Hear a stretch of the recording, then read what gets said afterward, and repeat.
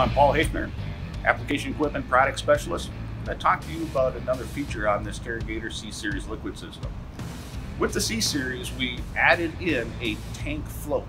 So it's given us the level of inside the tank, and we can view that level from here at the reload station, as well as up in the cab.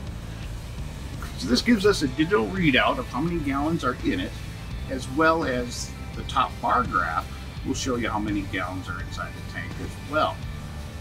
This gives you a great advantage when you're trying to put on a partial load, not a full load.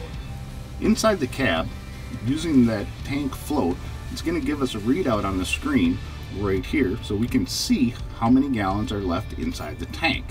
This helps us out so when we know if I have enough product on board to make it down and back before I need to refill.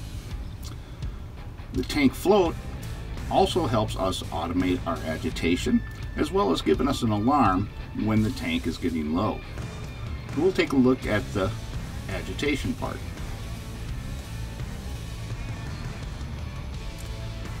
So if I go into my agitation button, I can see here now that I can set my full load capacity as well as my minimum or my off point for the agitation.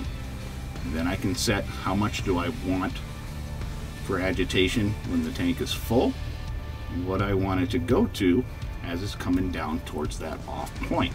So what it'll do is as the tank level goes down, the agitation will automatically scale itself from my max setting down to my min setting and then turn itself off once I hit my min gallon mark. If you want to still run your agitation manually, all you have to do is switch it to the manual mode.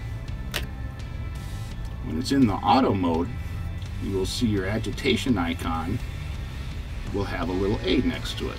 And that lets you know that it is in the automatic mode. The next feature that the tank float gives us is our tank level.